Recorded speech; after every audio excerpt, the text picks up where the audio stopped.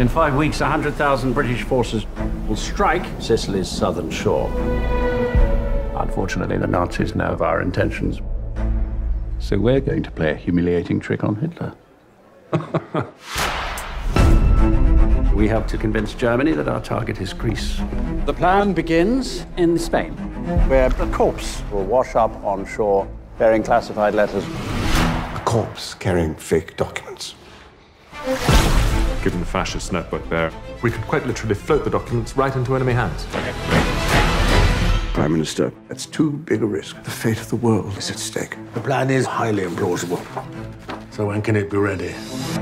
Well, what say we start with the easy part and find ourselves a corpse? The thing is, the Germans will scrutinize every detail of our fallen man.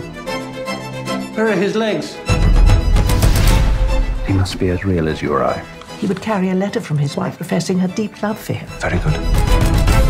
And he would carry her photograph. My contribution to the mission for a seat at the table.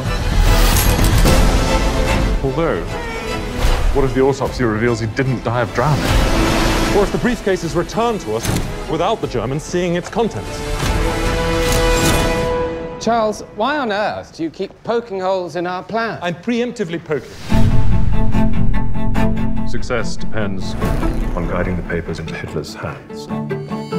The nightmare marching this way is only too real. And the Spanish won't let the Germans anywhere near our briefcase. We are in the dark. If the enemy is waiting for us on those beaches, history herself will avert her eyes from the slaughter. I may vomit. I may vomit with you. In stories of war, there is that which is seen and that which is hidden. In God's name, Fleming, what are you writing? Spy story. In the hidden war, the truth is protected by a bodyguard of lies. Its soldiers unseen, Pray. its heroes unsung. This is our war.